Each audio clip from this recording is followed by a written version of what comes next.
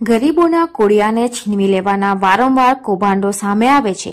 એક તરફ સરકાર દ્વારા જરૂરિયાતમંદો માટે યોજનાઓ થકી સહાય પૂરી પાડવામાં આવે છે, તો બીજી તરફ કેટલાક લેભાગુ અને નફાખોરોને કારણે આ ગરીબોના મુખે આવેલો કોળિયો છીનવાઈ જાય છે.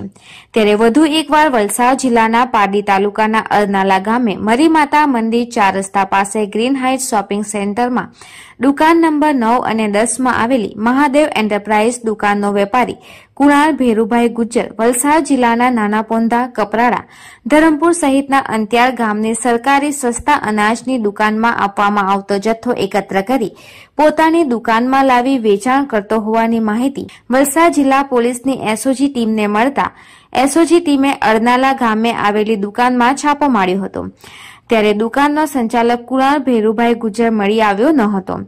આ દુકાનમાં પોલીસને ત્રણ હજાર એકસો ચાલીસ કિલો ઘઉં કિંમત રૂપિયા, બોતેર હજાર બસો વીસ ચોખા ત્રેવીસો કિલો કિંમત રૂપિયા, સત્તાવન હજાર પાંચસો, બાજરી સત્યાવીસો કિલો કિંમત રૂપિયા, આડત્રીસ હજાર છસો ચણા એસી કિલો કિંમત રૂપિયા ચાર હજાર મળી કુલ રૂપિયા એક લાખ બ્યાસી હજાર ત્રણસો વીસનો અનાજનો જથ્થો મળ્યો હતો.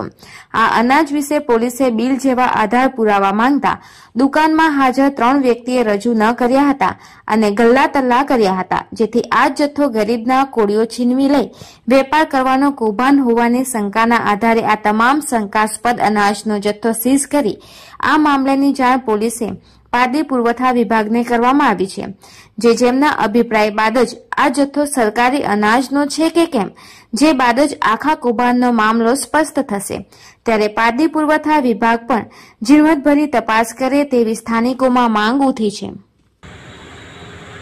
અમારી લાઈવ ન્યૂઝ ટ્વેન્ટી ફોર ચેનલને સબસ્ક્રાઇબ કરો.